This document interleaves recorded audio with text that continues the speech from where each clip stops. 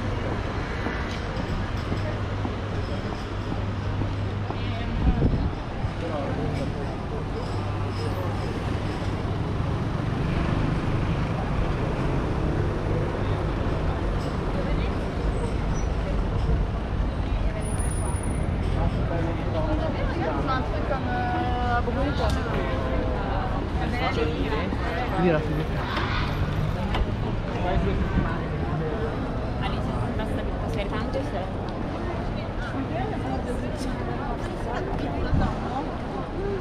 you.